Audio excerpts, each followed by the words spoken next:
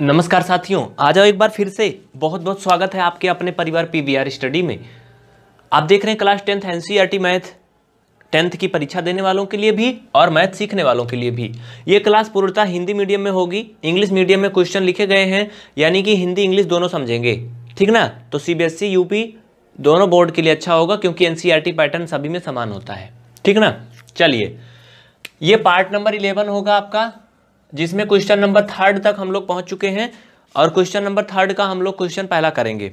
Okay चलिए।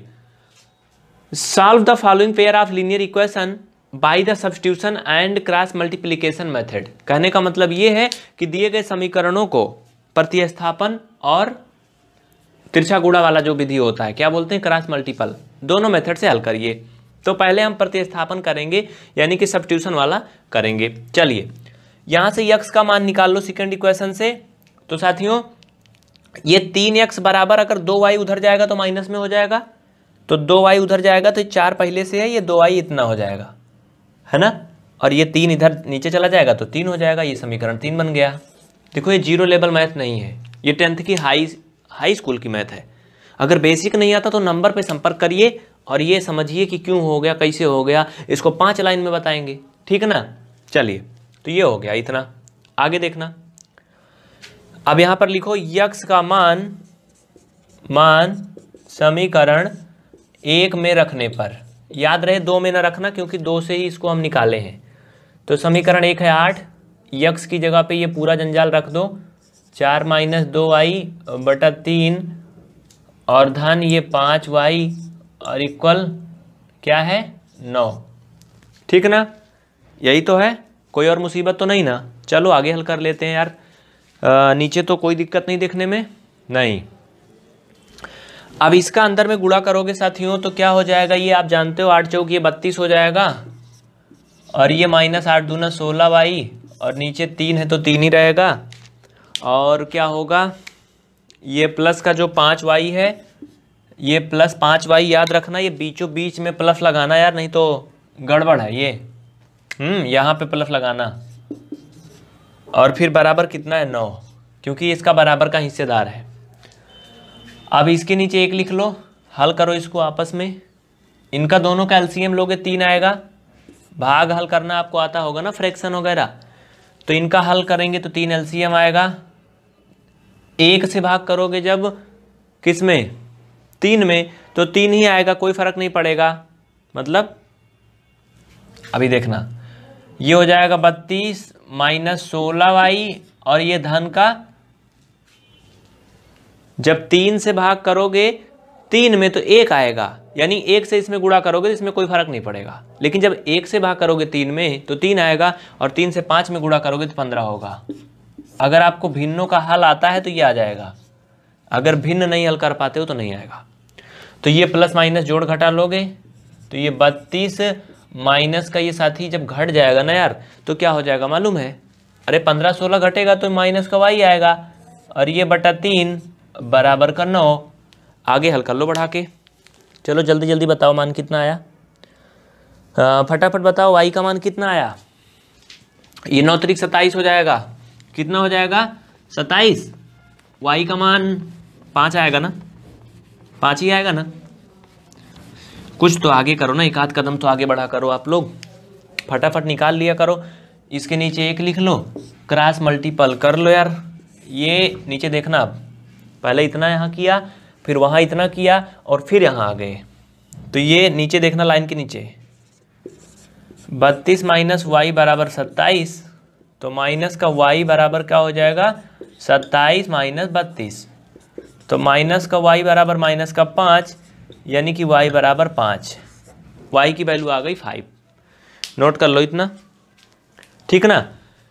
अब क्या करोगे? अब फिर इधर साइड आ जाएँगे। देखिए, अगर नहीं लिख पा रहे ना तो वीडियो को रोक रोक करके लिखें। और हाँ अगर डेली रेगुलर क्लास देखना है तो ऊपर देखो लिखा है ना P B R study three point zero channel को सब्सक्राइब करें। क्योंकि ये क्लास टेंथ वाली ना P B R study channel number तीन पर ही चलती है। इस चैनल पे, प्रयागराज वाले पे बहुत कम चलती है। तो उसी पर आप लोग पूरा देखो, लेकिन इस चैनल को ऐसे सर्च करना P V R study three point zero लोग लगा के ज़ीरो लगाना। होता है ना कीपैड में? अब लिख लो वाई का मान समीकरण एक में रखने पर।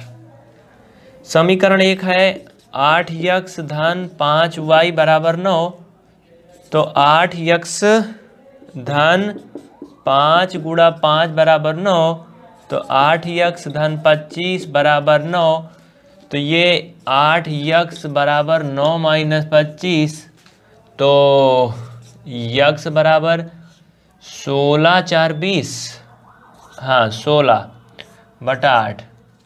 यानी कि कहने का ये मतलब हुआ कि यक्स बराबर माइनस का दो आ रहा है। देखो माइनस में आएगा भी कि नहीं आ रही शुरू से अगर हम देखें, वैसे तो सही लग रहा है। ठीक है, ओके राइट है। चलो नोट कर लो। नोट कर लो जल्दी से। हो गया इतना? तो ये तो हो गया आपका substitution method substitution and cross multiplication दोनों मेथड से पूछा था। तो अब हम करेंगे कौन सा मेथड क्रॉस मल्टीप्लिकेशन मेथड इसको जल्दी से छापो फटाफट। और नहीं छाप पा रहे हो तो वीडियो को रोक करके रखो। ठीक ना? रोक करके रखो।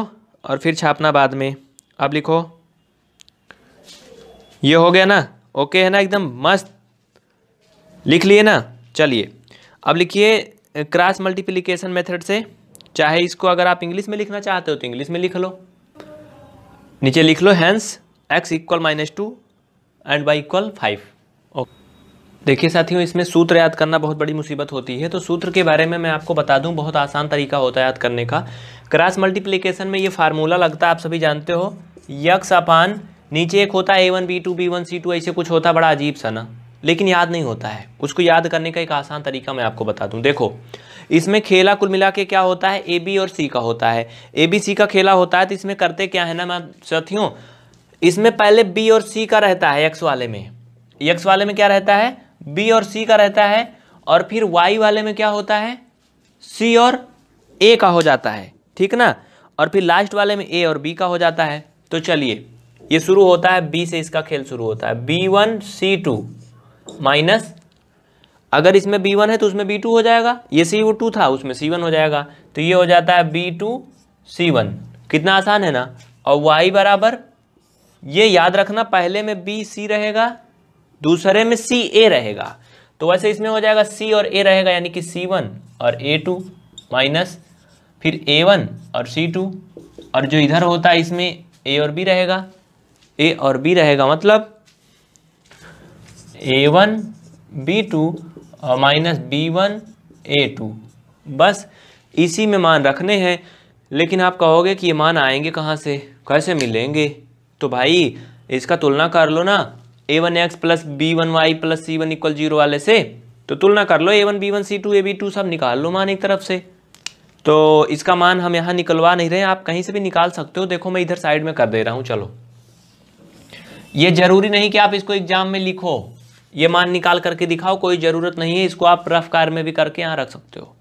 तो यहाँ पर देखो, ज़्यादा डिस्क्राइब नहीं करना ए वन का मान आठ, और बी वन का मान पाँच, और सी वन का मान माइनस का नौ नहीं समझ में आएगा बताना। ए टू का मान तीन, बी टू का मान दो और सी टू का मान माइनस का चार। ठीक है ना? रख दो सभी को फटाफट, इसी मिला के ढकेल दो, हो जाएँगे। अब ये मान हम रखेंगे, लेकिन कहाँ रखें? मुसीबत ये है, चूँकि यहाँ पर जगह तो है नहीं तो ये साइड में मैं थोड़ा सा जगह बनाता हूँ। देखो, दिख तो रहा है ना पूरा? चलो, बहुत अच्छे। तो साथियों, यहाँ पर हम इन मानों को रखने की कोशिश करेंगे। देखना पूरा क्या खेल होता है। ये पूरा उधर मान रखेंगे। यक्स अपान, देखना x upon B one C two देखो बी वन क्या है। यहाँ से देखना बी वन पाँच है। चलो रख ही देते हैं। सी टू क्या है। भाई मान रखने में तो टाइम लगेगा। सी टू क्या है। ये देखो माइनस का चार है। ये हो गया इतना। ये अभी इतने का मान हुआ बी वन सी टू का। माइनस का चिन्ह लगाओ बीच में। देखो, समझाने में टाइम लगेगा। B two C one B two का मान देखो, दो है वहाँ, और सी वन का मान क्या है? माइनस नौ है। यानी कि दो गुड़ा माइनस का नौ। ये अभी एक मुसीबत दूर हुई। अभी एक और भी है। वाई वाले में आ जाओ। C one A two C one का मान देखो माइनस नौ है। ए टू का मान तीन है। तो ये हो जाएगा y upon C one A two C one minus का नौ और ए टू तीन और फिर बीच में माइनस था minus A one C two तो ए वन सी टू रख दो, क्या हो जाएगा? ए वन सी टू या फिर इसे सी टू ए वन कर सकते हो मतलब वही हुआ कुल मिला करके ठीक ना? कोई उसमें इधर उधर नहीं करना है। तो ए वन का मान क्या है? आठ है ना? सी टू का मान क्या है? माइनस का चार है। तो ये आठ गुड़ा माइनस का चार। अगर इसको माइनस का चार गुड़ा आठ करोगे, तब भी वही आएगा। और बराबर देखो तो जगह नहीं बच रही यार उधर साइड में। ये तो उधर जगह नहीं बच रही, बड़ा लोचा हो जा रहा है। देखिए साथियों, एक बात बहुत ध्यान से समझना। वो ये है कि जो one upon A one B two और बी वन ए टू था, इसका मान रखने के लिए उधर साइड में इधर जगह नहीं बोर्ड खत्म हो जा रहा ना। तो इसलिए हम इसको आगे लिख दे रहे नीचे। बाकी आपके कापी में जगह होगी तो पहले इसको लिखना, फिर बराबर इसको लिखना, फिर ये नीचे वाला इसी के बराबर में लिखना, आगे लिखना, नीचे मत लिखना, ठीक ना? बराबर में लिखना। अब क्या करेंगे? हल करेंगे हम उसको इधर साइड में ला करके। ध्यान से देखना। आपके मन में बहुत सारे ख्याल आ रहे होंगे कि ये इतना बड़ा बड़ा बन जा रहा है, ये कैसे होगा? लेकिन अगर आप टेंथ में अच्छे से पढ़े हो, मेहनत किए हो तो बहुत आसान है यार ये। और हाँ बेसिक कॉन्सेप्ट आप सीखिए, चाहे जैसे भी सीखिए क्योंकि बेसिक कॉन्सेप्ट अगर नहीं आएगा तो फिर इसमें मुश्किल आएगी। हम्म? चलो, हल करेंगे। गुड़ा करोगे तो बीस हो जाएगा तो ये हो जाएगा यक्स अपान माइनस का बीस, और फिर माइनस का चिन्ह है, और दो नौ अठारह माइनस में आएगा, माइनस माइनस प्लस का अठारह हो जाएगा। ओके, ठीक। अगला, नौ का तीन में गुड़ा करोगे, माइनस सत्ताईस हो जाएगा, आठ का चार में करोगे बत्तीस, और वो प्लस हो जाएगा। यानी माइनस का सत्ताईस प्लस बत्तीस। देखो यहाँ जगह बन जा रही क्योंकि छोटा हो जा रहा है। इसको करोगे आठ दूना सोलह और पाँच तियाँ पंद्रह। तो ये सोलह माइनस पंद्रह। है ना कितना आसान? निकाल लो, आगे हल कर लो एक लाइन और। यहाँ एरो लगा लो। ये हो जाएगा यक्स अपान माइनस का टू इक्वल ये वाई अपान फाइव और वन अपान वन। यहाँ से यक्स और वाई के मान निकालने हैं, करोगे क्या? वही करेंगे जो अभी तक करते आए हैं। एक बार इसको सी के बराबर कर लो ए वाले को, और एक बार ए को बी के बराबर कर लो। तो चलिए, कर लेते हैं, इसमें क्या जाता हमारा? है ना, आंसर ही तो लाना है। तो एक बार पहले वाला तीसरे के बराबर कर लो, और एक बार पहला वाला दूसरे के बराबर कर लो। चलिए, ओके। तो यक्स अपान माइनस का two equal one upon one. X का मान माइनस दो आ गया। ठीक? एक बार इन दोनों को बराबर कर लो आपस में, फिर क्या होंगे? लेकिन मज़ा नहीं आएगा, इस तरह से नहीं आएगा। आप ये बराबर करोगे। ठीक ना? वाई बटा पाँच बराबर वन अपान वन। समझ गए ना? तीनों आपस में बराबर हैं तो आप इसको, इसके बराबर कर सकते हो, इसको इसके बराबर कर सकते हो। इसको इसके बराबर भी कर सकते हो, लेकिन इस तरह मान नहीं आएगा। तो यहाँ से वाई का मान क्या आएगा? पाँच। इस तरह से आपने देखा यक्स का मान माइनस दो आया था सब्सटीट्यूशन मेथड में भी आया क्रॉस मल्टीप्लिकेशन मेथड में भी वही आया। है ना?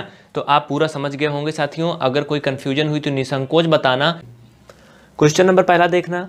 लिखा हुआ है, निम्न समीकरणों को के युग्म को रैखिक समीकरण में बदल करके और इनको हल कीजिए। देखिए, आपके अगर इंग्लिश मीडियम के बुक है तो उसमें इंग्लिश में लिखा होगा बस। इक्वेशन दोनों में सेम टू सेम होगा, मिला लो। है ना? इसमें अगर वन अपॉइंट टू एक्स है तो उसमें भी यही होगा। तो इसको साथियों कह रहा कि रैखिक समीकरण में बना लो, उसके बाद हल करके दिखाओ। तो चलो, मैं बना लेता हूँ। इसके आगे स्टेप देखना। ये तो इक्वेशन दिया है। इसको हम क्रॉस मल्टीपल करेंगे। है ना? ये तो हम कर सकते हैं। लेकिन ये थोड़ा बड़ा हो जाएगा इस तरह से, और आपको गड़बड़ हो जाएगा फिर। इसलिए आसान तरीका ये है साथियों, कि जैसे एक बात समझो, वन अपान टू एक्स लिखा है ना तो इसको मैं लिख सकता हूँ one upon two into one upon x. बोलो लिख सकता हूँ कि नहीं? लिख सकता हूँ ना। मुसीबत यहाँ पर हमें इससे है, जो बटे में है वन अपान एक्स। तो चलो मैं मान लेता हूँ कि माना क्या? वन अपान यक्स की जगह पे कुछ भी मान लो, चाहे पी मान लो, क्यू मान लो ये मान लो, कुछ भी मान लो। तो अगर मैं इसको मान लेता हूँ तो क्या हो जाएगा ये? ध्यान देना। वन अपान यक्स की जगह पर मैं पी मान रहा हूँ, याद रखना। तो साथियों, ये वन अपान टू इंटू क्या हो जाएगा? पी। समझ रहे हो कि नहीं? समझ रहे हो ना? वन अपान यक्स की जगह पे मैंने पी मान लिया। तो ये वन अपान यक्स की जगह पे पी हो जाएगा तो इतना हो जाएगा। और फाइनल में मल्टीपल करोगे तो पी अपान टू मिलेगा। क्या मिलेगा? पी बटे दो। तो इसी तरह से हम इसको आगे हल करेंगे। आप समझ गए होंगे कि वन अपान टू एक्स की जगह पे हम लिख सकते हैं। अभी ऐसे तो नहीं लिख सकते हैं एक सिस्टम से करेंगे तो लिख सकते हैं। तो मैं नीचे हल करता हूँ। अभी ध्यान देना, नीचे हल करता हूँ वहाँ रहने दो हिंदी में लिखोगे तो माना लिखोगे, इंग्लिश में लिखोगे तो लेट लिखना। लेट्स ठीक है? माना वन अपान यक्स बराबर पी तथा one upon y equal Q. ठीक है? चलो। बट इनको इस्माल में मानो, चाहे कैपिटल में मानो, चलो कैपिटल में रहने दो। तो साथियों, पहले समीकरण के अकॉर्डिंग हम चलेंगे। तो वन अपान यक्स की जगह पर जब पी मानोगे तो हमें पी अपान टू मिलेगा। क्या मिलेगा? पी अपान टू और प्लस जब वन अपान वाई की जगह पे क्यू मानोगे तो बस वही क्यू अपान थ्री मिलेगा। और बराबर जो दो था वैसे ही रहेगा।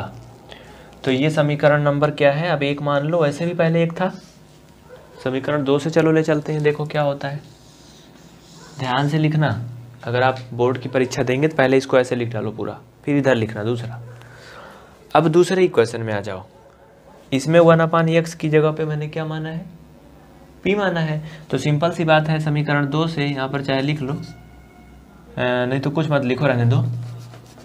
इसको लिखने के बाद दूसरा लिखो। इसमें जब मानोगे तो ये पी बटा तीन हो जाएगा और प्लस ये क्यू बटा दो हो जाएगा, बराबर तेरह बटा छः हो जाएगा। इतना बात समझ में आई? इसको समीकरण दो बना लो। क्या हो गया ये? समीकरण नंबर दो। लेकिन अभी ये दोनों समीकरण हल होंगे। और हल होंगे तो थोड़ा आपके लिए और भी इजी बन जाएँगे। उनको भी देखना कैसे होंगे। ध्यान देना। अब इनको आप क्रॉस मल्टीपल करोगे। क्या करोगे? क्रॉस मल्टीपल करोगे। तो देखना क्या होंगे। ये गौर करना। साथियों, अगर इसमें आप ध्यान दो तो दोनों में छः हो रहा है। दोनों में छः हो रहा है ना? लेकिन इनका हम हार वगैरह कुछ बराबर करेंगे। नीचे कहाँ तक है? नीचे तो अभी एक लाइन और दिखेगा ना? चलो, एक लाइन और दिखेगा। इसको आप कर सकते हो तीन पी। क्या कर सकते हो? तीन पी धन दो क्यू बराबर। देखो ये तीन दूना छः हो जाएगा और छः का इधर गुणा करोगे बारह हो जाएगा। नहीं समझ में आएगा तो बताना ठीक? ये आपका एक समान इक्वेशन बन गया। इसमें करोगे तो ये आपका टू पी धन ये तीन क्यू और बराबर हम्म, ध्यान देना ये तीन दूना छः और ये भी तो है ना यार, सात बटा छः इसको क्या करोगे आप? मालूम है आपको क्या करोगे? हाँ इसको हम एक काम कर सकते हैं, नीचे छः ऐसे लिख लें। ठीक ना? ये तीन दूना छः एल लोगे। और ये तेरह बटे छः कुछ समझ में आया? यहाँ से आप छः से छः काट सकते हो। तो ये टू पी धन तीन क्यू बराबर आएगा तेरह। ये समीकरण दूसरा है। ये दोनों समीकरण आपके अच्छे रूप में आ गए। एक सिंपल रूप में आ गए ना? बस इन्हीं दोनों समीकरणों को हल करना है। वैसे आप एक काम करो, अगर फाइनल समीकरण इनको बनाओ तो ज़्यादा अच्छा रहेगा। टू पी धन तीन क्यू माइनस तेरह बराबर ज़ीरो, इसे समीकरण दो लिखो। और ये बारह इधर साइड भेज लो। नीचे दिख रहा है कि नहीं? नहीं दिख रहा तो अभी मैं दिखा दूँगा, परेशान मत होना। ठीक है ना? ट्वेल्व इधर को भेज लोगे तो ये समीकरण का एक नया रूप बन जाएगा। तो दोनों समीकरण को मैं उधर साइड में लिख के दिखा दे रहा हूँ। इतना कर लेना। यहाँ समीकरण दो मत लिखना। ठीक ना? और इसमें इसको समीकरण दो ये यहाँ पर मत लिखो। समीकरण एक मैं बता रहा हूँ क्या बनेगा। जब इधर से बारह इधर साइड लाओगे तो ये कुछ ऐसे बनेगा। तीन पी धन दो क्यू और माइनस बारह बराबर ज़ीरो, ये समीकरण एक बना लो। और ये टू पी धन तीन क्यू माइनस तेरह बराबर ज़ीरो। ये समीकरण दो बना लो, बस। ये सबसे आसान है। देखिए, केवल इसको हल्का सा काटना था। कर लिए ना? पढ़ते समय पहले आप रफ कार्य में किया करो। समझने की कोशिश करो, बस। पहला स्टेप हो गया, दूसरा हो गया, तीसरा स्टेप हाँ दिख रहा है ना? दोनों समीकरणों को कह रहा अब हल कीजिए। अभी तक तो हम समीकरण बना रहे थे। तो साथियों, हल कर लेंगे। हल करने में कौन बड़ी बात है? है ना? क्या करना है? चलिए इनको विलोपन विधि से कर देते हैं। समीकरण एक में दो से गुणा कर दो दो में तीन से, जिससे बराबर हो जाए। तो लिख लो, समीकरण एक में दो से तथा समीकरण दो में तीन से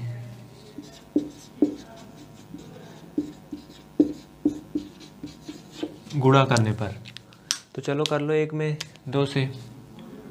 तो दो तिहाई छः पी धन, दो दूना चार क्यू, माइनस बारह दूना चौबीस बराबर ज़ीरो।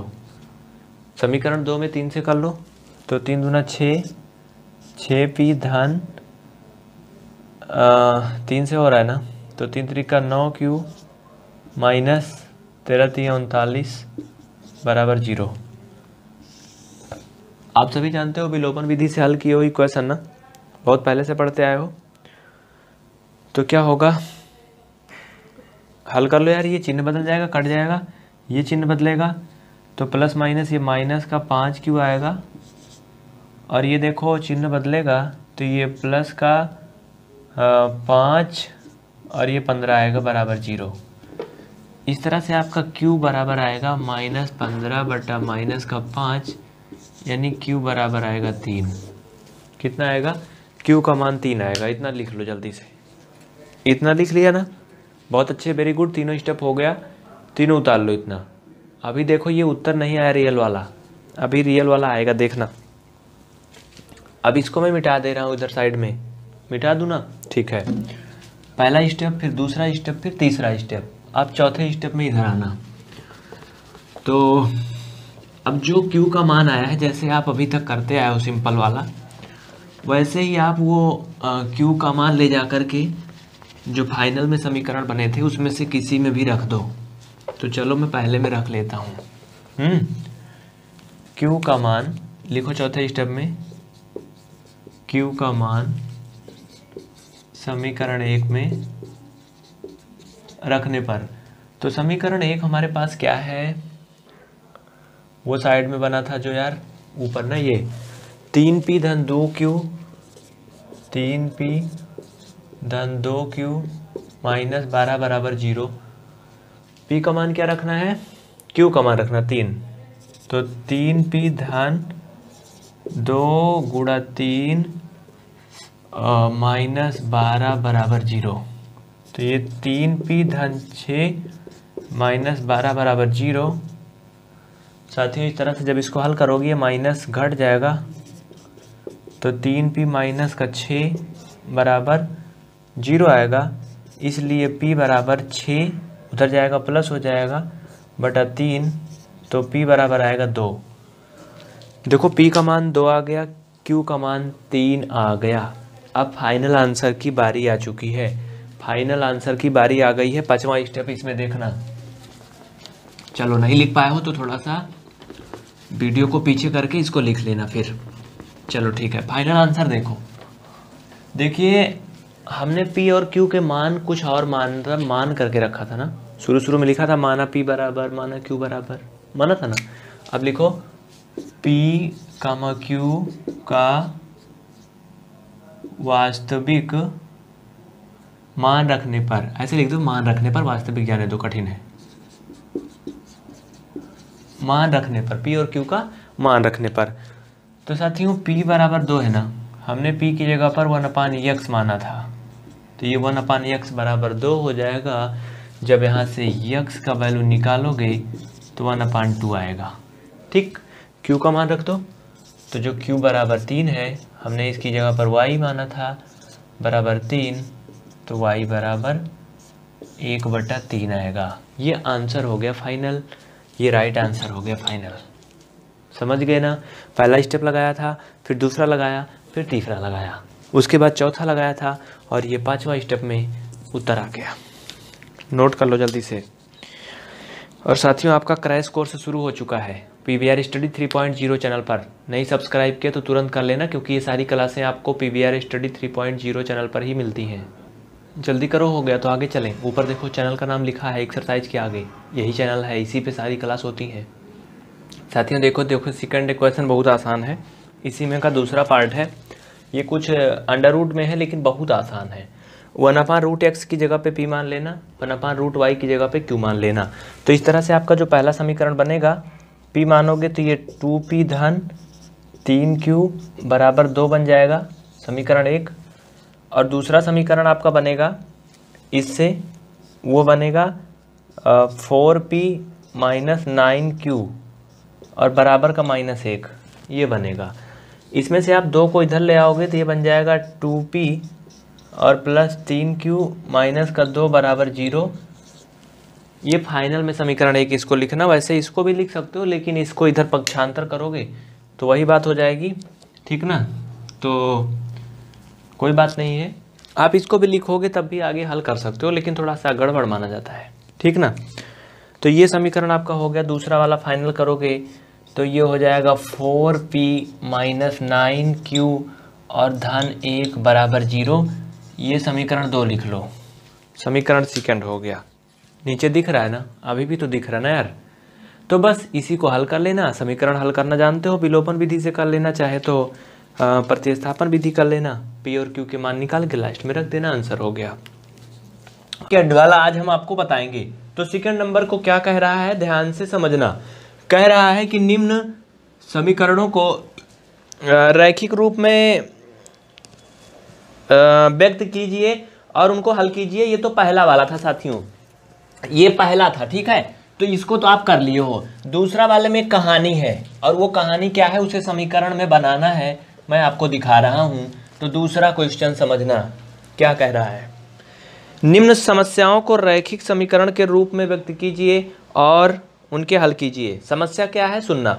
ऋतु धारा के अनुकूल दो घंटे में 20 किलोमीटर तैर सकती है। ऋतु एक लड़की है जो धारा के अनुकूल दो घंटे में 20 किलोमीटर तौर तैर सकती है। धारा मतलब जैसे ये नदी है, इधर को बह रही है। ठीक ना? धारा इधर को जा रही है।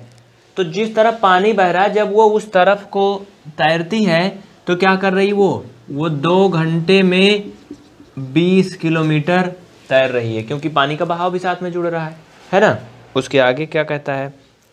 धारा के प्रतिकूल दो घंटे में सिर्फ़ चार किलोमीटर तैर पा रही है। मतलब जब वो धारा इधर को बह रही, वो इधर को तैर रही है तो दो घंटे में सिर्फ़ चार किलोमीटर तैर पा रही। क्यों? क्योंकि पानी उसको ढकेल रहा है उल्टा साइड को, पीछे को। आगे देखना क्या होता है।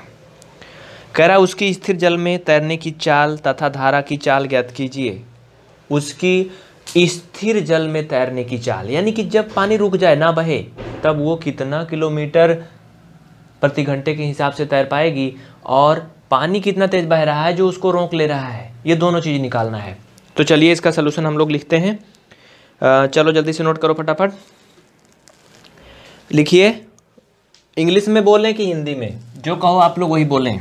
इंग्लिश में लिखोगे तो लिखोगे let the speed of two in still water and the speed of stream be x kilometre प्रति घंटे एंड वाई किलोमीटर प्रति घंटे हिंदी में लिखोगे तो कुछ ऐसे लिखोगे, माना ऋतु की स्थिर जल में तैरने की चाल यक्स किलोमीटर प्रति घंटे और धारा की चाल वाई किलोमीटर प्रति घंटे है। नोट कर लो, एक बार फिर से बोल रहा हूँ। सबसे पहले लिखोगे माना, ऋतु और सॉरी माना ऋतु की स्थिर जल में तैरने की चाल और धारा की चाल क्रमशः x किलोमीटर प्रति घंटे और y किलोमीटर प्रति घंटे है। ये तो आपने मान लिया। अब लिखिए। अब तैरते समय चाल के बारे में बात करते हैं। लिखिए। आप स्ट्रीमिंग आप स्ट्रीमिंग मतलब जानते हैं?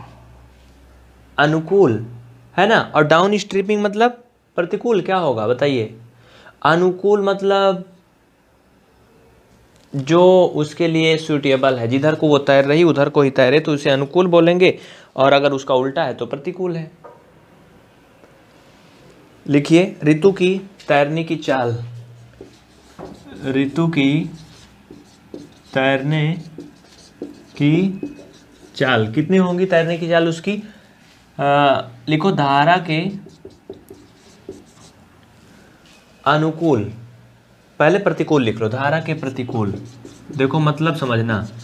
तो धारा के प्रतिकूल देखिए साथियों जैसे अगर मान लो आप एक चीज़ देखे होंगे एक्सीडेंट अक्सर रोड पे होते हैं तो अगर कोई गाड़ी आमने सामने से आके टकराती है तो एक्सीडेंट ज़्यादा बुरा होता है। लेकिन अगर कोई गाड़ी आगे आगे जाती, पीछे से कोई ठोक देता है तो उतना बड़ा हादसा नहीं होता है। क्यों?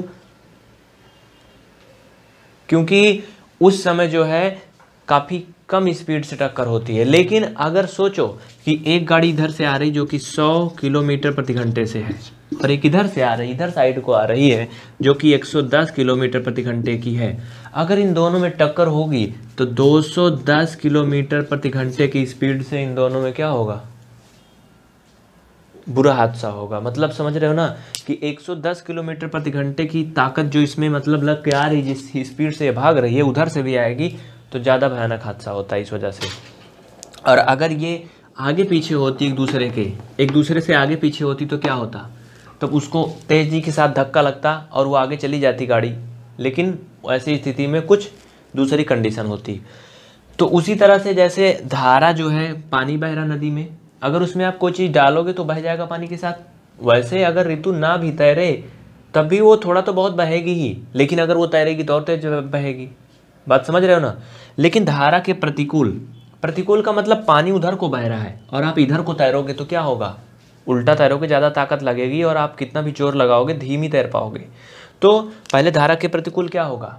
हमने माना है कि ऋतु की स्थिर जल में चाल एक्स किलोमीटर प्रति घंटे और धारा की चाल वाई किलोमीटर प्रति घंटे। तो यानी कि इसमें से उसकी जो भी वो ताकत लगाएगी, ज़ोर लगाएगी, उसमें से धारा की चाल घट जाएगी। मतलब वो घटा दिया जाएगा। कहने का मतलब अगर ऋतु 100 किलोमीटर प्रति घंटे की चाल से तैर रही है और धारा की चाल 40 किलोमीटर प्रति घंटे है तो वो 40 उसमें से घट जाएगा ऋतु सिर्फ़ 60 किलोमीटर प्रति घंटे की चाल से ही तैर पाएगी। ये मैं आपको एक बता रहा हूँ मानने के लिए, बाकी इतना तेज कोई नहीं तैरता है। अब आगे क्या लिखेंगे? धारा के अनुकूल, धारा के अनुकूल चाल। अनुकूल करेंगे जिधर को पानी बह रहा है, उधर को तैरेंगे तो जुड़ जाएगा एक्स प्लस वाई किलोमीटर प्रति घंटे। इसमें भी कर लो, किलोमीटर प्रति घंटे। आगे लिखिए अकॉर्डिंग टू द क्वेश्चन प्रश्नानुसार। देखो, बहुत जल्दी है आज। प्रश्नानुसार। प्रश्न के अनुसार क्या कह रहा है? कह रहा कि दो घंटे में वो जब धारा के साइड में जाती है, जिधर को धारा जा रही तो 20 किलोमीटर तैरती है। यानी कि two into x plus y बराबर बीस और धारा के प्रतिकूल जब वो उल्टा साइड को तैरती है, उसको भी करेंगे, लेकिन पहले इसको कर लो। तो ये टू आई माइनस का बीस बराबर ज़ीरो, इक्वेशन नंबर हो गया फ़र्स्ट। इसको नोट कर लो फटाफट। फटाफट नोट कर लो। आगे चलते हैं फिर। अगला लिखिए। इतना हो गया ना? चलो जल्दी करो फटाफट। आगे क्या है? कह रहा कि धारा के ये अनुकूल वाला हो गया। प्रतिकूल वाला क्या होगा? इसी के नीचे करना बिना कुछ लिखे। X माइनस वाई और क्या कह रहा था? आ, कह रहा था कि दो घंटे में ये सिर्फ़ चार ही किलोमीटर तैर पाती है। कितना तैरती है? चार किलोमीटर। तो two x minus two y minus चार बराबर ज़ीरो। समीकरण नंबर दो हो गया। Adding the equation one and two. दोनों समीकरणों को जोड़ लेते हैं। पहले नीचे तक लगाना फिर ऊपर। नहीं लिख पाए हो तो थोड़ा सा आ, वीडियो को रोक करके लिख लेना। ओके? चलिए बहुत अच्छे वेरी गुड लगे रहो लगे रहो। समीकरण एक और दो को जोड़ने पर तो साथियों मैं दोनों पहले लिख लेता हूँ। Two x plus two y minus twenty बराबर zero, two x minus two y minus four का बराबर ज़ीरो। जोड़ोगे दोनों तो ये हो जाएगा चार एक्स, ये कट जाएगा, चिन्ह कोई नहीं बदलेगा। माइनस का चौबीस बराबर ज़ीरो। ध्यान देना इतना करने के बाद उस साइड में चलते हैं हम सब। टाइम बहुत कम है साथियों। एक्स का मान निकालोगे यहाँ से। तो फोर एक्स बराबर चौबीस, एक्स बराबर चौबीस बटा चार यक्स बराबर छः। देखो चार दोनों तरफ़ लिखा जाता है, हैरान मत होना। यक्स का मान आ गया। अब यक्स का मान रख दो समीकरण एक में। ये उसके आगे वाले स्टेप में करना, उधर साइड वाला। ठीक ना? एक्स का मान समीकरण एक में रखने पर। तो चलो रख दो फटाफट। झटाझट रख दो एक्स का मान। समीकरण एक क्या है? Two x plus two y minus का ट्वेंटी बराबर ज़ीरो। एक्स का मान छः आया है तो दो गुणा छः धन दो आई माइनस बीस बराबर का ज़ीरो। यहाँ से निकालोगे तो आई इक्वल चार आएगा। अब लिख लो नीचे। अतः ऋतु की स्थित सॉरी, स्थिर जल में चाल बराबर छः किलोमीटर प्रति घंटे और धारा की चाल चार किलोमीटर प्रति घंटे। मतलब पानी अगर रुका रहेगा तो ऋतु छः किलोमीटर प्रति घंटे तैर सकती है। और पानी जो बह रहा था वो चार किलोमीटर प्रति घंटे की चाल से बह रहा था। कक्षा दस के N math exercise four point one और इसमें हम देखेंगे क्वेश्चन नंबर फ़र्स्ट से। चलिए शुरू करते हैं।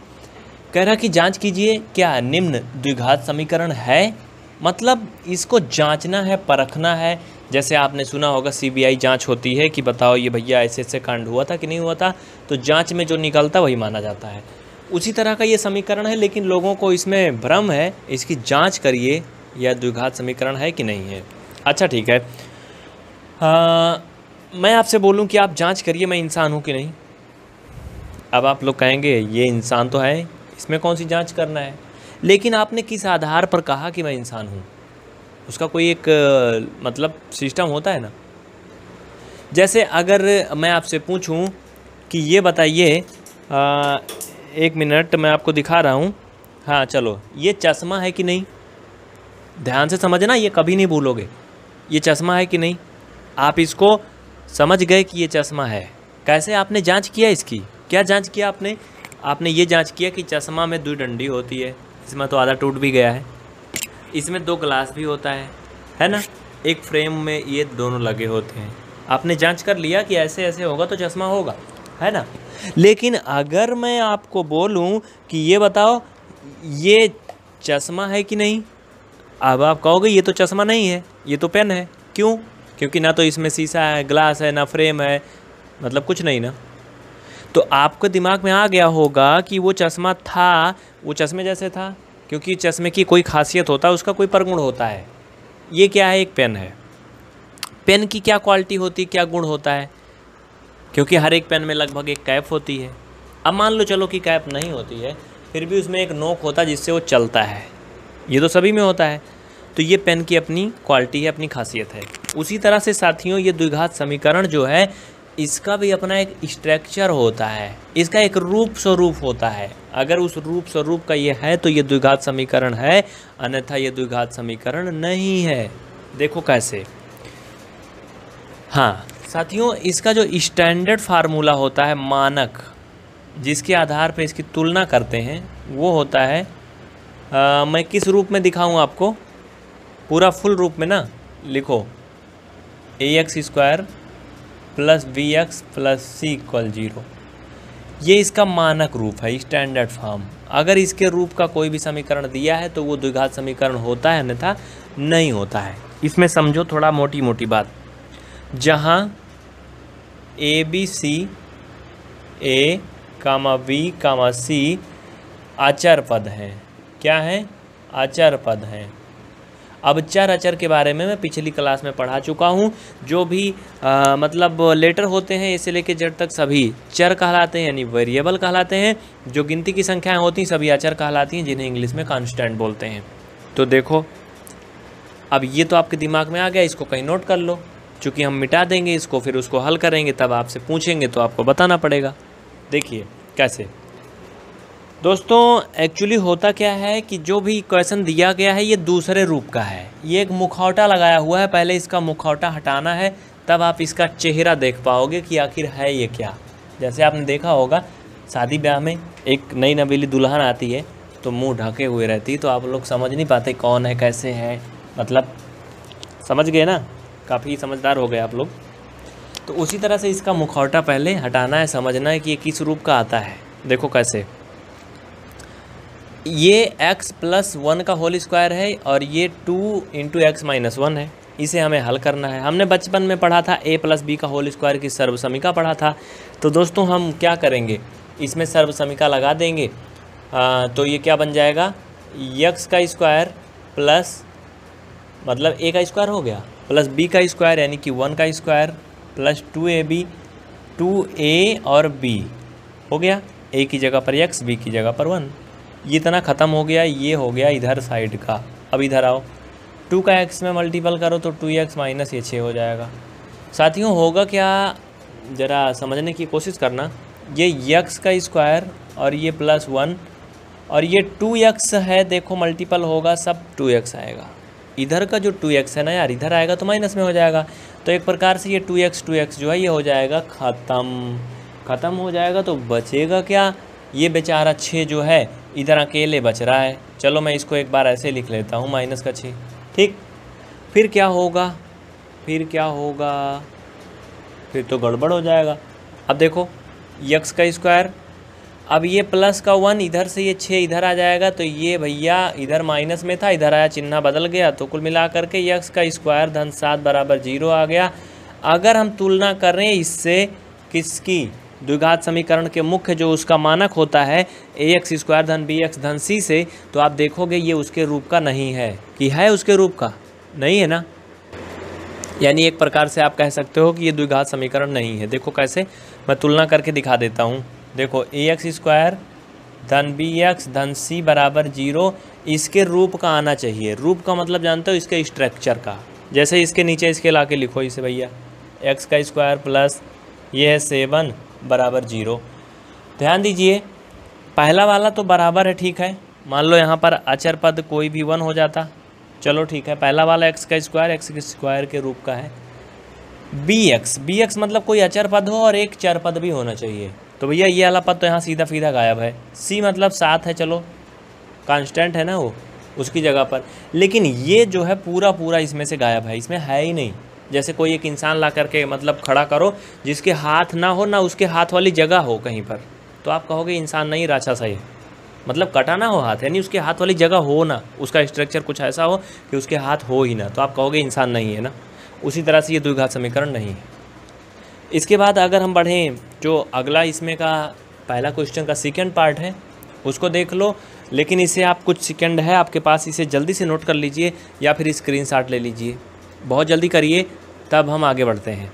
फटाफट करिए, बहुत देर हो रही, इस समय क्लास रिकॉर्डिंग का टाइम आपका वही रात में ही मिलता है, रात के एक बजे।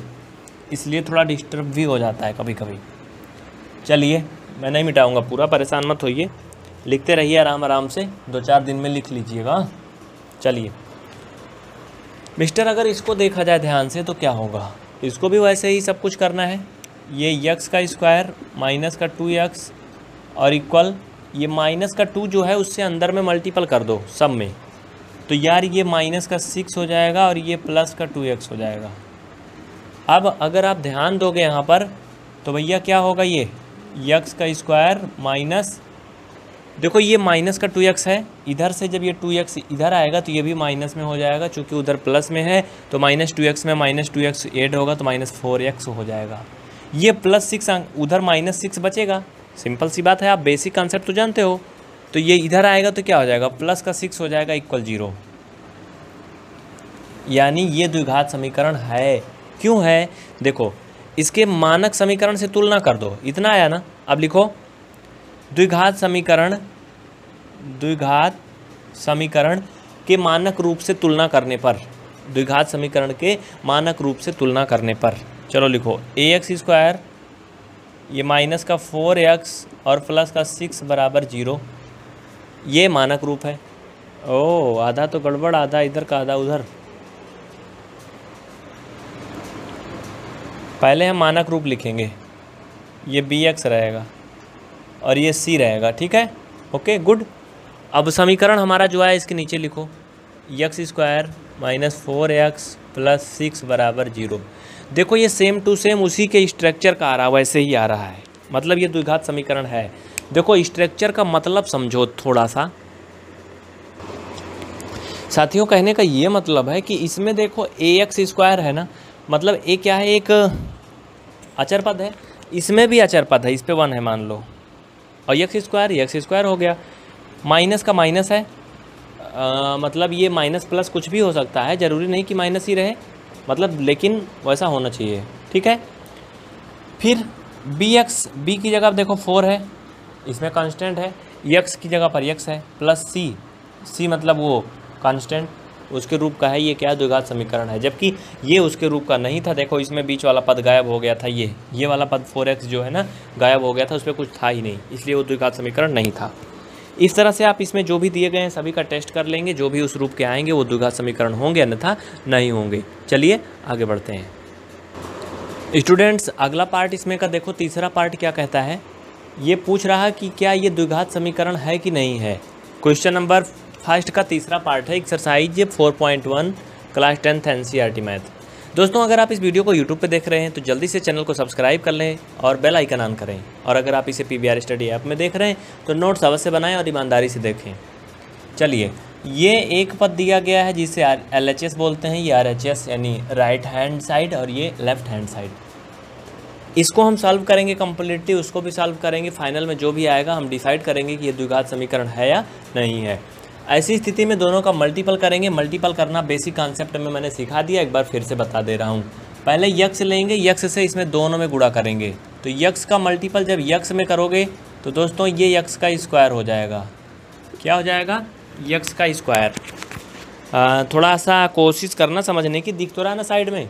ठीक है, बहुत अच्छा दिख रहा है।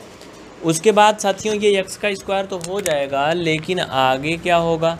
यक्स का मल्टीपल प्लस वन में करोगे। तो ये प्लस यक्स हो जाएगा। कितना हो गया।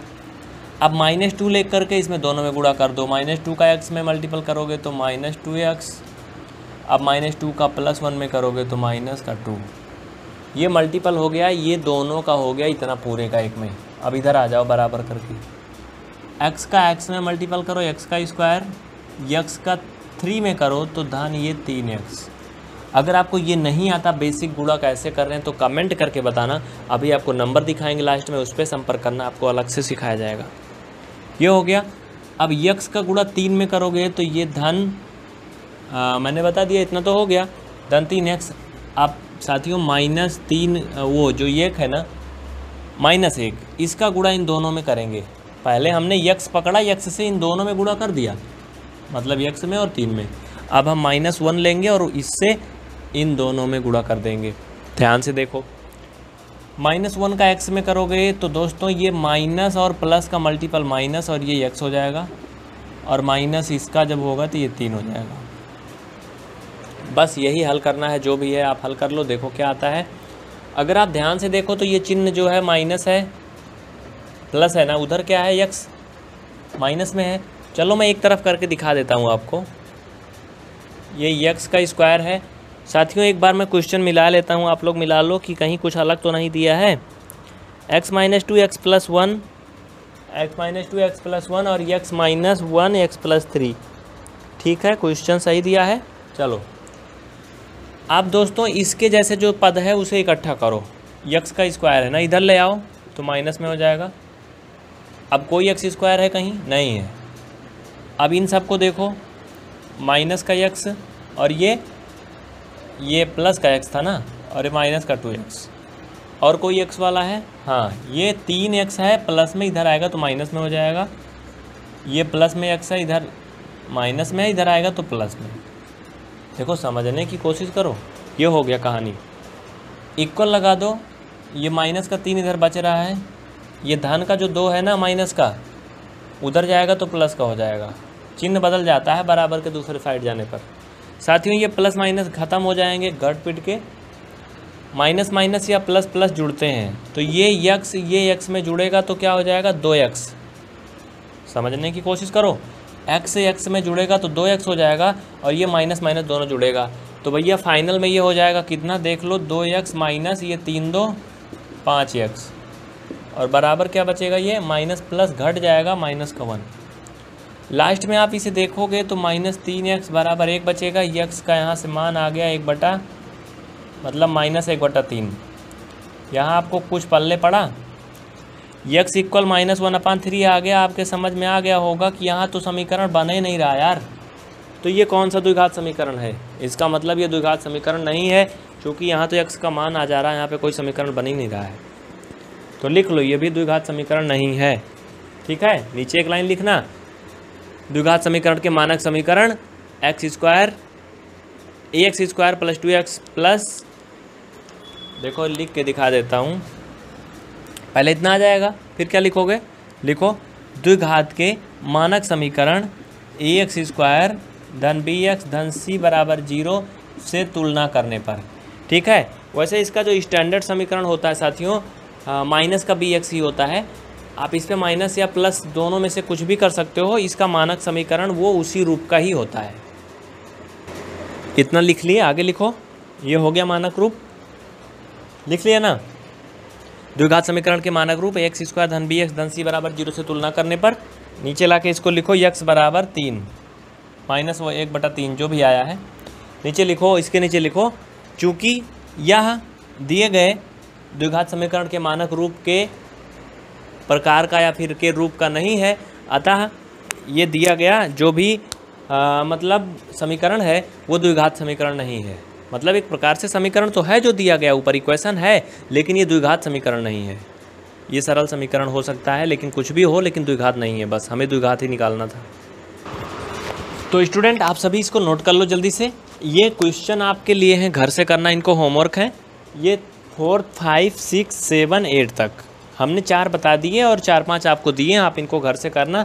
अगर ये द्विघात समीकरण के मानक रूप, यानी कि स्टैंडर्ड फॉर्म के रूप के आते हैं मतलब एक्स स्क्वायर धन बी एक्स धन सी के रूप के तो द्विघात समीकरण होंगे, अन्यथा नहीं होंगे, करके देख लेना। द्विघात समीकरण क्वाड्रेटिक इक्वेशन का क्वेश्चन नंबर सेकेंड और प्रश्नावली फोर पॉइंट वन ये क्लास बहुत ही ध्यान से देखना, ईमानदारी से देखना और बड़े प्यार से देखना, बड़ी मज़ेदार क्लास होगी। उसके पहले आपके लिए चंद लाइनें। न फिसलो इस उम्मीद में, न फिसलो इस उम्मीद में कि कोई तुम्हें उठा लेगा। न फिसलो इस उम्मीद में कि कोई तुम्हें उठा लेगा। न डूबो दरिया में कि कोई तुम्हें बचा लेगा। सोचकर न डूबो दरिया में कि कोई तुम्हें बचा लेगा। ये दुनिया तो एक अड्डा है तमाशबीनों का मेरे यार।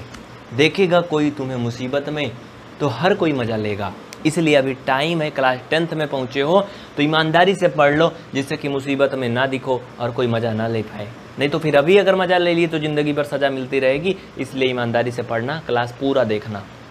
क्वेश्चन बहुत आसान, एकदम हलुआ है। कह रहा है, निम्न स्थितियों को द्विघात समीकरण के रूप में लिखिए। मतलब इसको हल नहीं करना है, सिर्फ़ समीकरण बना देना है, बाकी का काम और लोग करेंगे। क्या कहता है? चलिए देखते हैं। एक आयताकार भूखंड का क्षेत्र 528 मीटर है। क्षेत्र नहीं, क्षेत्रफल। ठीक? क्षेत्रफल मीन्स एरिया एक आयताकार भूखंड का क्षेत्रफल 528 मीटर स्क्वायर है। साथियों, आयताकार का मतलब ये होता है, आयत के आकार का है। भूखंड मतलब ये होता है किसी भूमि का टुकड़ा, जैसे प्लाट मान लो।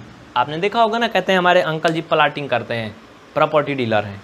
तो यही प्लाट आयताकार है। उसका क्षेत्रफल 528 मीटर स्क्वायर है। कह रहा है कि क्षेत्र की जो लंबाई है, वो चौड़ाई के दोगुने से एक अधिक है।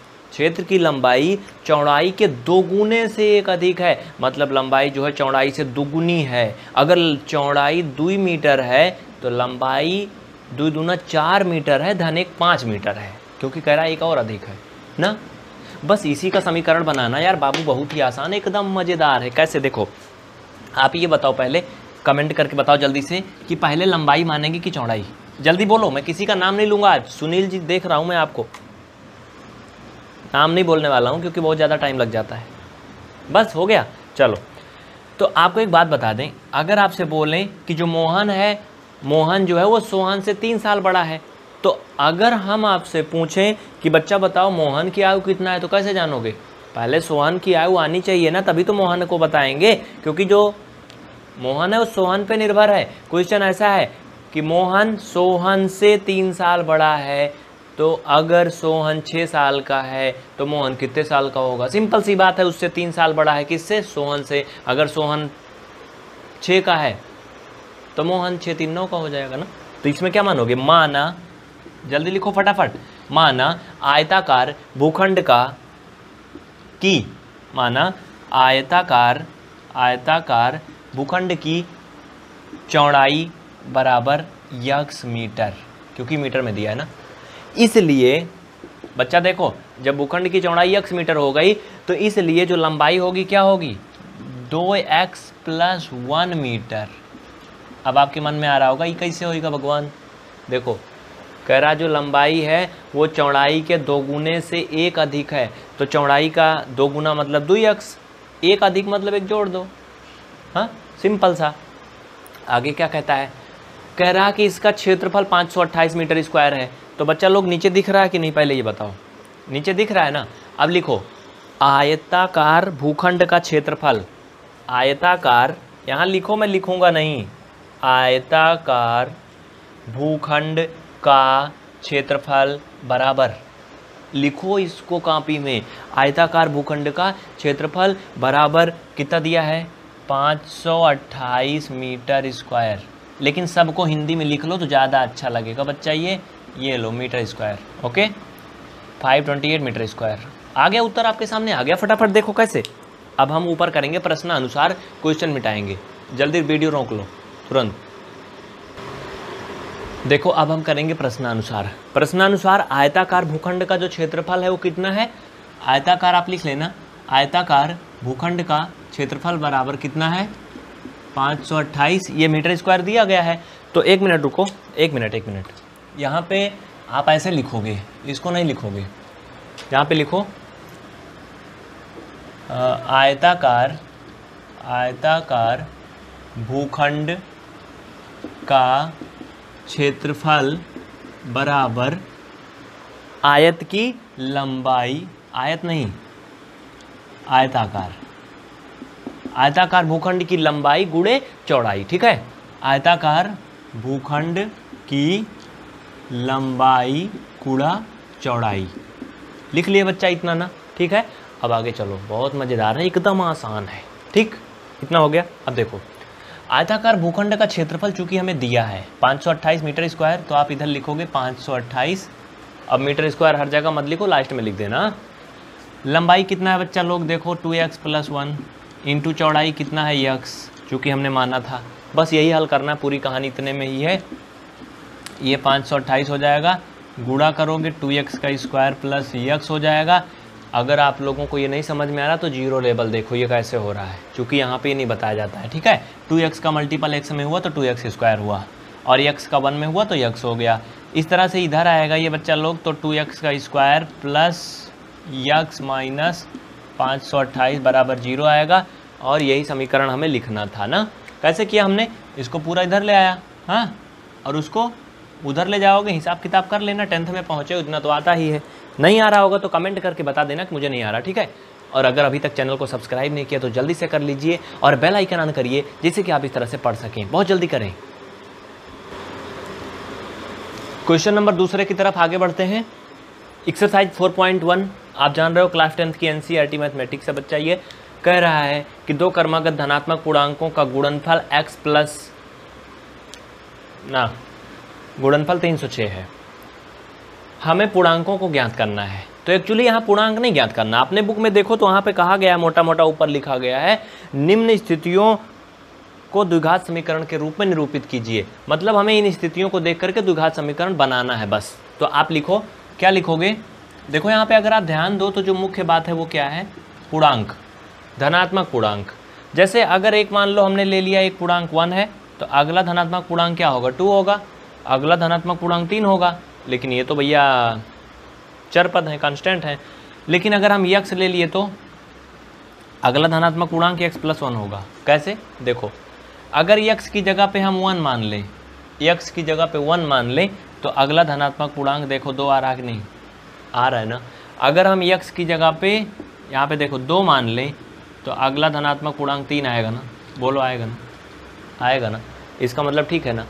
अगर कर्मागत धनात्मक पूर्णांक मानना है तो पहले यक्स मानना, पहले को, दूसरे को यक्स प्लस वन मतलब एक एक के अंतराल पे मानना। एक बात और यहीं पर बता दूँ, अगर दो कर्मागत सम धनात्मक पूर्णांक मानना है, या विषम मानना है तो एक एक छोड़ के मानना। पहला एक्स दूसरा एक्स प्लस टू, तीसरा एक्स प्लस फोर, ऐसे मानना। दो दो का अंतराल होगा, ठीक है? चलो। माना माना पहला कर्मागत कर्मागत धनात्मक पूर्णांक। धनात्मक पूर्णांक बराबर यक्स। फिर आगे लिखोगे, दूसरा दूसरा कर्मागत धनात्मक पूर्णांक इक्वल एक्स प्लस वन कह रहा है कि इनका गुणनफल 306 है। तो बच्चा लोग, आप एक काम करो, यहाँ पर लिख दो प्रश्नानुसार अकॉर्डिंग टू द क्वेश्चन इनका गुणनफल 306 है मतलब x into x plus one का जो गुणनफल है, वो कितना आता है? 306 आता है। बस इसी का समीकरण बनाना था। बना दो प्यार से, बड़े आराम से, आ गया जल्दी से, हो गई बात ख़त्म। गुणा कर लो एक्स का स्क्वायर हो जाएगा। एक्स का वन में होगा तो यक्स हो जाएगा। बराबर 306 हो जाएगा। इधर साइड में लिख दूँ फाइनल उत्तर ना? देखो, ये 306 उधर ले जाओ, बस हो गया। X square plus x minus तीन सौ छः ये हो गया आपका आंसर। इसमें कोई लफड़ा नहीं होना चाहिए ना। कितना आसान है वेरी सिंपल सा यार जल्दी से लिख लो। अगर अभी तक आपने चैनल को सब्सक्राइब नहीं किया तो जल्दी से करिए और बेल आइकन ऑन करिए, जिससे कि आप इस तरह से सारे वीडियो देख पाएँ और हर एक पार्ट को हल कर पाएँ। जय हिंद। आगे बढ़ते हैं। अभी जाना मत, अगला भी है। देखो बच्चा, आपकी तीसरा पार्ट देखना है, ठीक है? बहुत ध्यान से देखना। एक्सरसाइज 4.1 क्वेश्चन नंबर सेकेंड का थर्ड पार्ट बहुत आसान क्वेश्चन है, एकदम सिंपल सा है, थोड़ा सा समझ लो बस, ठंडे दिमाग से। कह रहा कि रोहन की माँ उससे 26 वर्ष बड़ी है। रोहन की माँ, देखो, माँ तो दुनिया में सबसे एक बड़ी, अजूब और कीमती मतलब क्या बोलें, जो भी है, सब कुछ होती है। तो माँ तो हमेशा बच्चे से बड़ी ही होती है है ना? रोहन की माँ क्या है, उससे 26 वर्ष बड़ी है। उनकी आयु का जो गुणनफल है अब से तीन वर्ष बाद 360 हो जाएगा। यानी रोहन और रोहन की माँ की आयु जो है, उसका गुड़ा कर देंगे। अगर मान लो रोहन की माँ की जो आयु है, वो 40 वर्ष है, रोहन की 25 वर्ष है, ऐसे हो सकता है? नहीं हो सकता। मान लो 15 साल है रोहन की। उसका जो गुणनफल है कितना है? 360 हो जाएगा तीन वर्ष बाद, लेकिन आज नहीं। हाँ फिर कह रहा कि हमें रोहन की वर्तमान आयु ज्ञात करनी है। एक्चुअली जो क्वेश्चन है मुख्य ना, हमें इसमें द्विघात समीकरण बनाना है, हल नहीं करना है। हमें आयु नहीं निकालनी है, सिर्फ़ समीकरण बनाना है। आप देख लो अगर आपके पास एन बुक है बच्चा तो एन बुक में क्या है ना एक्सरसाइज अगर आप देखो तो क्या है, ये फोर में आप देखो कि क्वेश्चन नंबर ये जो है सेकेंड का ना थर्ड पार्ट है। तो ध्यान से इसको देखो। हाँ अभी क्लास में।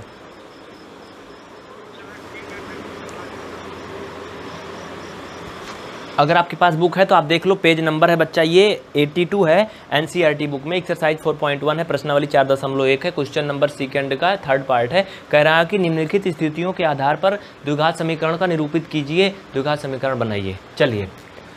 रोहन की माँ उससे 26 वर्ष बड़ी है।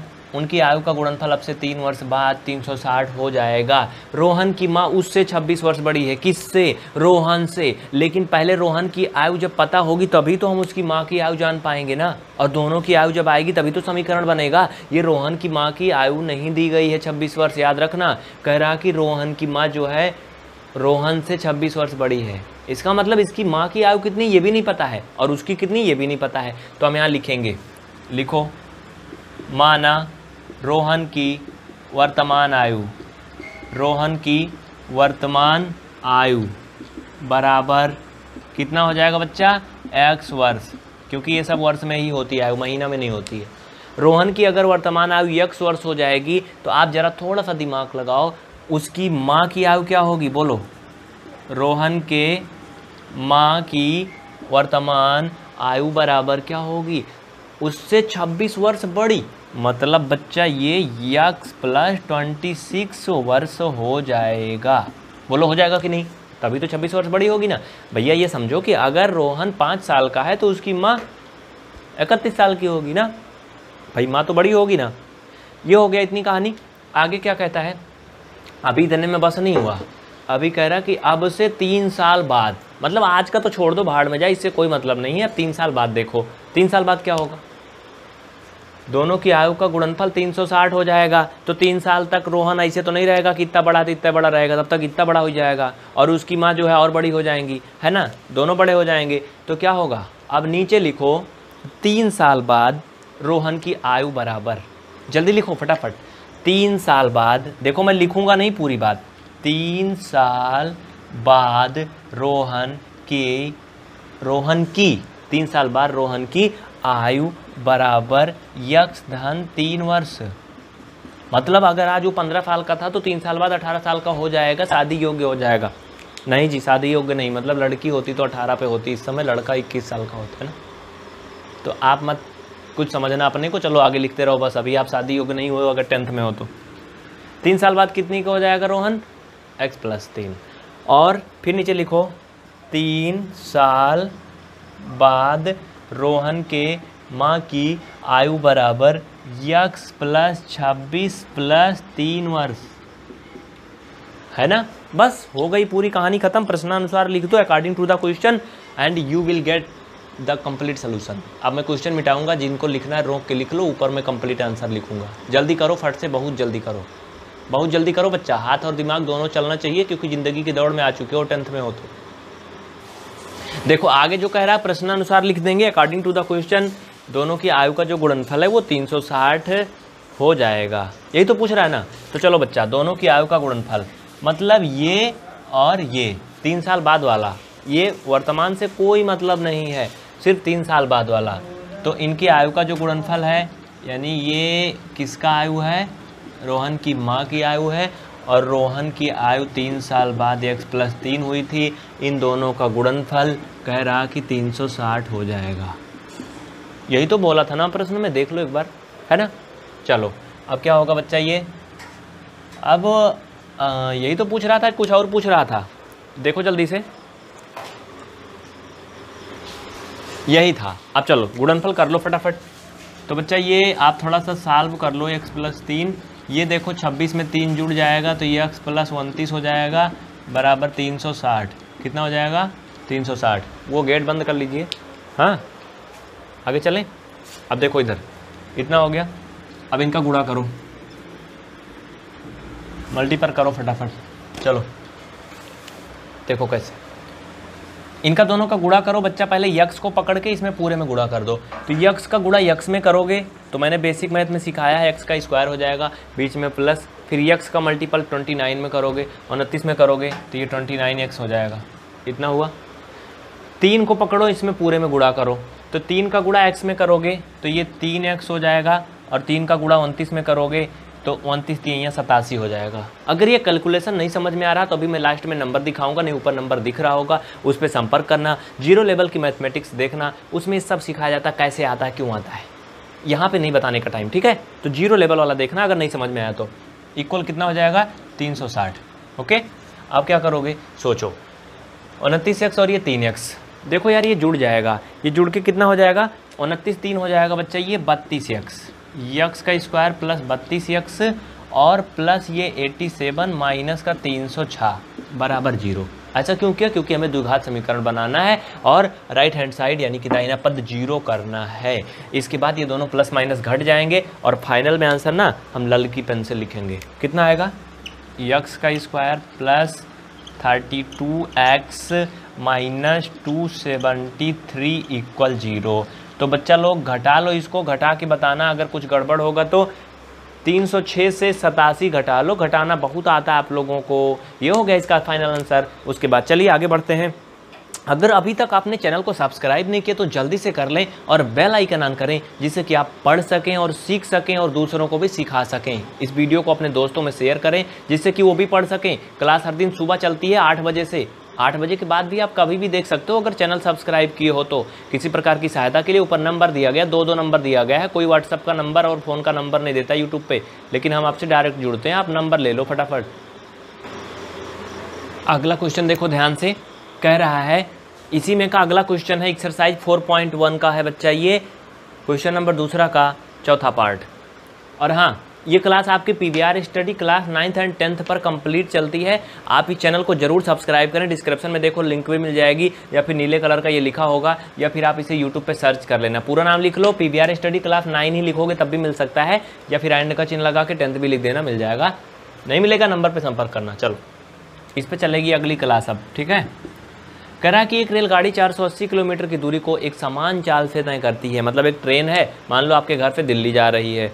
दिल्ली की दूरी सोच लो कि आपके घर से 480 किलोमीटर है और वो एक समान चाल से जा रही मतलब मस्ती में जा रही, चाहे वो 80 किलोमीटर की स्पीड में या 70 के, लेकिन ज़्यादा कम नहीं हो रही है कई स्पीड में जा रही। उसके बाद, जो भी है, फिर आगे कह रहा कि यदि इसकी चाल आठ किलोमीटर प्रति घंटा कम होती मतलब जितने में जा रही है, उससे आठ किलोमीटर प्रति घंटे और कम होती तो दूरी को तय करने में वो तीन घंटे और ज़्यादा समय लेती। तो फिर हमें रेलगाड़ी की चाल ज्ञात करनी है। वास्तव में हमें चाल नहीं ज्ञात करनी, हमें द्विघात समीकरण बनाना है, क्योंकि क्वेश्चन के अकॉर्डिंग कह रहा है कि द्विघात समीकरण के रूप में इस कहानी को निरूपित कीजिए। देखो, रेलगाड़ी की चाल निकालना है लास्ट में तो हम जो लास्ट में है वही मानेंगे। आप नीचे लिखो, हल, लिखो माना माना, रेलगाड़ी की चाल बराबर चाल बराबर यक्स किलोमीटर प्रति घंटे। हो गया? ये हो गई रेलगाड़ी की चाल। अब अगर आप ध्यान दो तो यहाँ पे दूरी पहले से दी गई है बच्चा। हाँ? दूरी बराबर दी गई है कितना? 480 किलोमीटर। अब हमें यहाँ से बहुत कुछ निकल जाएगा, चूँकि दूरी चाल की कहानी बहुत बचपन से हम पढ़े हैं। यहाँ पे आप लिखो समय बराबर। समय का है निकाल रहे हैं, पता है? क्योंकि यहाँ ये लल्लू लाल बोल रहे हैं कि अगर आठ किलोमीटर की जो चाल है प्रति घंटे कम हो जाए तो तीन घंटे ज़्यादा समय लेगी। इसका मतलब हमें समय निकालना होना ज़रूरी है ना? क्यों? क्यों ज़रूरी है? क्योंकि जब वो अपने स्पीड में जाएगी, जितने में जा रही है तो फिर कितना समय लगा रही? पहले हमें ये पता होना चाहिए ना, तभी तो हम ये निकाल पाएँगे कि आठ किलोमीटर प्रति घंटे अगर चाल कम हो गई तो तीन घंटे कम समय लेगी।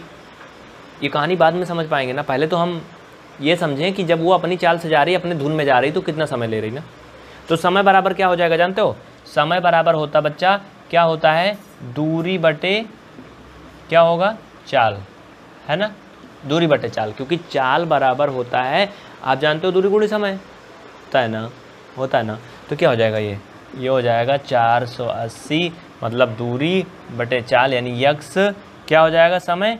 ये घंटे। हाँ? इतने घंटे क्या लगेगा? समय लगेगा जब वो अपनी मस्ती में जाएगी तो। लेकिन अब इनकी कहानी पे चलते हैं। दूसरा जो कह रहे हैं कि यदि उसकी चाल आठ किलोमीटर प्रति घंटे कम होती तो वो तीन घंटे अधिक समय लेती। आप इसे नोट कर लो, छाप लो, फिर मैं आगे लिखता हूँ क्योंकि मैं मिटाऊँगा इसको, ठीक है? हमारे पास जगह कम है। जल्दी लिख लो इतना। लिख लो बच्चा फटाफट। हो गया? चलो, जगह तो बहुत है, मैं नीचे भी कुछ लिख देता हूँ। लिखो। नीचे लिखो। जब रेलगाड़ी की, जब रेलगाड़ी की चाल, नीचे लिखो। जब रेलगाड़ी की चाल आठ किलोमीटर प्रति घंटे कम हो जाती है, तब नई चाल बराबर। हाँ? या फिर ये पूरी कहानी मत लिखो, ऐसे लिख लो रेलगाड़ी की नई चाल बराबर। जैसे आप समझो, चाहे इतना लिख लो, चाहे आप लिख लो, पूरी कहानी ही लिख लो। जब रेलगाड़ी की चाल आठ किलोमीटर प्रति घंटे कम हो जाती है, तब नई चाल बराबर यक्स माइनस आठ किलोमीटर प्रति घंटे। ठीक? इतना हो गया ना? आगे चलें? बहुत अच्छे वेरी गुड आप क्या करोगे? दूरी बराबर। देखो बच्चा, दूरी अभी भी वही है। दूरी में कोई अंतर नहीं है। दूरी वही है। अब आप नया समय निकालोगे। क्या करोगे? नया समय निकालोगे। वीडियो को पीछे करके लिखना अगर नहीं लिख पाए हो तो। ठीक है? वीडियो थोड़ा पीछे कर लेना, लिख लेना पूरी कहानी। आप क्या करोगे? अब निकालोगे समय। तो समय बराबर फिर वही सूत्र लगाओगे। कौन सा? जो अभी आप लगाए थे, वही लगाओगे। समय बराबर क्या होगा? दूरी बटे चाल, ना? दूरी बटे चाल ना बच्चा, यही ना? तो दूरी बटे चाल मतलब 480 बटे चाल मतलब यक्स माइनस आठ। ये हो गया नया समय। इसे लिख लो, समीकरण चाहे दो लिख लो। समीकरण एक बना था, हमें याद है 480 बटे यक्स। यही बना था ना? यही बना था ना? अब मैं क्वेश्चन मिटा ना दूँ? हाँ? क्वेश्चन मिटा के ऊपर हल कर लेता हूँ। आप पीछे देखना, इसके पहले जो हुआ, उसको नोट करे हो तब समझ में आएगा। नहीं लिखे हो, समझ में नहीं आएगा। इसलिए लिखते जाओ सब। अब देखो प्रश्नानुसार क्या होता है। जो आपकी अभी चाल आई थी पहले और जो बाद में, दोनों को बराबर करोगे। और सॉरी चाल नहीं, समय। तो पहले जो समय आया था, वो कितना आया था बच्चा लोग? 480 बटे यक्स घंटे ना। उसके बाद प्रश्नानुसार क्या कह रहा है कि जब उसकी चाल आठ किलोमीटर प्रति घंटे कम हो जाती है तो वो तीन घंटे और अधिक का समय लेती है उसी दूरी को तय करने में। यानी कि जो 480 सौ अस्सी बटे यक्स माइनस आठ का समय ले रही थी, इससे तीन घंटे का और ज़्यादा समय लेगी अब। ये नई कहानी है इसकी। ठीक? इसी को हमें हल करके क्या करना है? इसी को हमें हल करके समीकरण बना देना है। चलो देखो। ये हो जाएगा 480 सौ अस्सी बटे यक्स। ये पूरा उधर से इधर आ जाएगा तो माइनस का हो जाएगा 480 बटे यक्स माइनस आठ बराबर तीन। हाँ? इसका क्रॉस मल्टीपल करोगे बच्चा लोग तो ये हो जाएगा 480 यक्स माइनस आठ का गुड़ा करोगे पूरे में, आठ ज़ीरो, आठ ढाई चौंसठ, आठ चौक बत्तीस, छः अड़तीस। इतना हो जाएगा, क्योंकि हमने एक्स माइनस एट का 480 में गुड़ा कर लिया। यक्स का गुड़ा चार सौ अस्सी में करोगे तो 480 यक्स हो जाएगा। हो गई कहानी समझ में आई ना? यक्स का गुड़ा इसमें पूरे में करोगे जब बच्चा लोग तो क्या हो जाएगा? यक्स का एक्स में एक्स स्क्वायर यक्स का आठ में आठ एक्स ये बराबर का जो तीन था वैसे रहेगा, इस पर कोई फ़र्क नहीं पड़ने वाला है। ये भैया प्लस में है, ये माइनस में है, कट गए, काम ख़त्म, छोटे हो गए। हाँ आगे क्या होगा? इसके नीचे वन लिख लो। अब क्रॉस मल्टीपल होगा। क्रॉस मल्टीपल होगा तो ये तीन एक्स का स्क्वायर माइनस तीन अठे चौबीस एक्स बराबर क्या बचेगा ये? देखो, ध्यान दो, माइनस में है तो वो माइनस का माइनस ही रहेगा कि प्लस हो जाएगा? सोचो और बताओ। ये माइनस में है अगर गुड़ा होगा तो यहाँ प्लस वलस का कोई कंडीशन नहीं है, वो माइनस में ही रहेगा। अड़तीस, चालीस हाँ? ठीक? इतना बात समझ में आ रही ना? लेकिन आपको यहाँ पर कुछ चीज़ें बड़ी अजीब सी लग रही होंगी। वो क्या है कि मैंने थोड़ा सा इसको सार्ट करके उल्टा लिख दिया ना? तो मैं जैसे वैसे ही लिख देता हूँ इधर साइड में देखो आप लोग। मतलब वही होगा। माइनस का तीन सौ ये अड़तीस, चालीस और इक्वल तीन का गुड़ा जब करोगे तो मैं थोड़ा सा और विस्तार कर दे रहा हूँ इसमें पूरे में ऐसे। ये समझ में आ रही ना बात अब? इस तीन का गुड़ा इसमें पूरे में हो रहा है और इस वन का गुड़ा इसमें हो रहा है। तो ये मैंने लिख दिया, ठीक? अब देखो। अब ये माइनस अड़तीस चालीस बराबर ये तीन एक्स का स्क्वायर माइनस ये चौबीस एक्स, चाहे जितनी भी लाइन बढ़ा लो, समीकरण आ गया, समीकरण हो गया आपके सामने, ठीक है? अब क्या करोगे ना बच्चा लोग, इसमें देखो, तीन से आप दोनों तरफ़ भाग दे दो, क्योंकि ये तीन से कट जाएगा। क्या होगा ये? ये तीन से कट जाएगा। कट जाएगा कि नहीं कट जाएगा? तीन से कट जाएगा ना? अब इसको सिर्फ़ सॉल्व कर लो बस। देखो, तीन से इसको काट दो। तीन एक कम तीन तीन से काटोगे आठ। आठ एक्स ना? और इसको तीन से काट दो, तीन एक कम तीन तीन दूना छः तीन अठे चौबीस, ज़ीरो, बारह सौ अस्सी आएगा, माइनस का। इसको सबको इधर ले आओगे तो आपको मिलेगा एक्स का स्क्वायर माइनस आठ का एक्स क्यों? आठ एक्स ये बचा था। एक्स स्क्वायर ये बचा था। माइनस का ये बारह सौ अस्सी।